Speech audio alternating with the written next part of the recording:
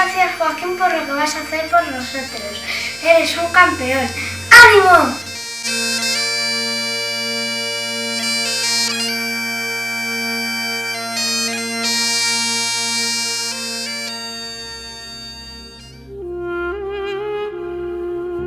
El jardín de mi ¿De qué se trata? De transformar las azoteas, que son espacios en desuso, las azoteas de los hospitales públicos, en jardines donde los niños puedan jugar. Un niño que está hospitalizado no tiene un entorno en el que jugar, no sale de la habitación, del pasillo eh, y tener un espacio al aire libre, con columpios, con motos para hacer carreras, con color, con luz, con plantas, en el que eh, cosas que a nosotros nos parecen tan obvias como poder mm, mirar más allá de la pared de tu habitación, o sea, proyectar y mirar al horizonte. Mm, al final todo esto son beneficios que notan los niños de manera instantánea y no solo ellos, sus padres, sus familiares, eh, los médicos y bueno, cosas tan chulas como el jardín, de hecho queda en el hospital y beneficia a todos los pacientes, niños y adultos que ingresan en el hospital.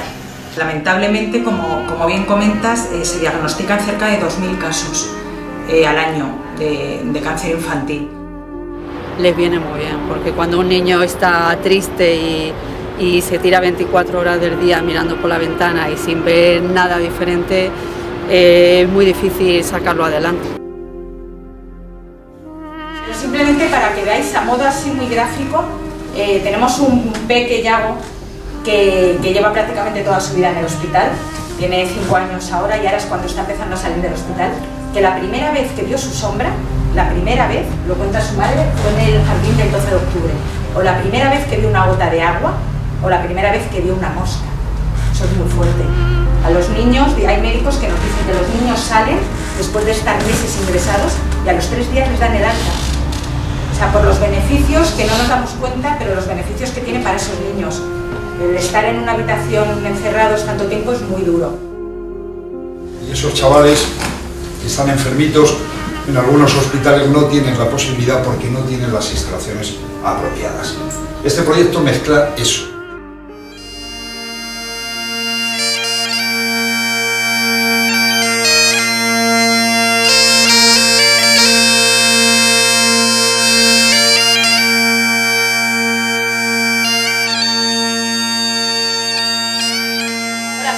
Aquí estamos para darte ánimos y decirte que estamos contigo pedalada tras pedalada. Muchas gracias por todo lo que estás haciendo. ¡Ánimo, Joaquín! ¡Tú puedes! ¡Un beso muy fuerte, Joaquín! Si te fallan fuerzas, aquí estoy yo para ayudarte. Un beso.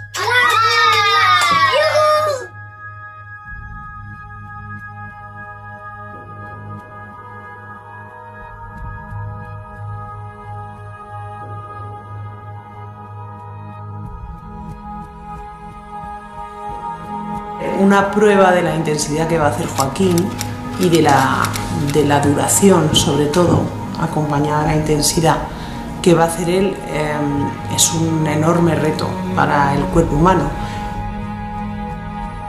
Yo creo que en su caso está perfectamente asesorado.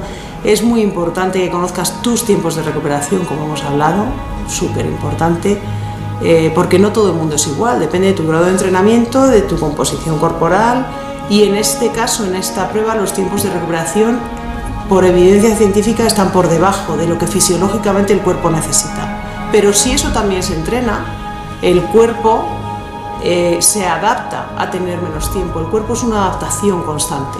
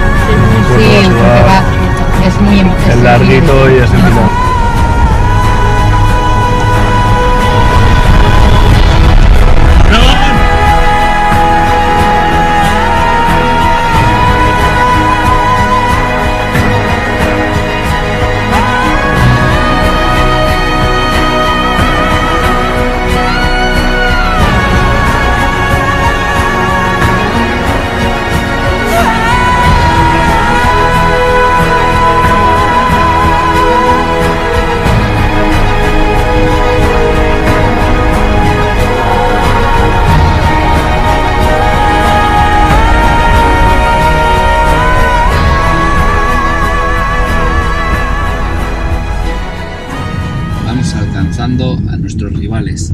Aquí tenemos el siguiente. Hemos adelantado cuatro en estas 24 horas sin parar.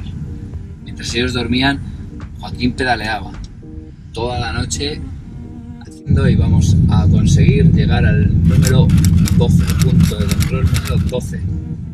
Y ya está amaneciendo. Sí. Esta mañana Las cinco y media de la mañana. hemos salido desde el 6 esta mañana. Desde el número 6 hemos salido. Se ha rascado 6 puntos de control. Y hay 21. Se ha hecho hoy un tercio de la carrera. El ritmo del Joaquín siempre mejor que el del resto, siempre, siempre. Es muchísimo mejor ritmo que el resto. Lo único que los descansos están siempre diferentes. Y la organización y planificación, venga, vamos, dale, dale. Vamos, nos ha llevado a estar un poco retrasados.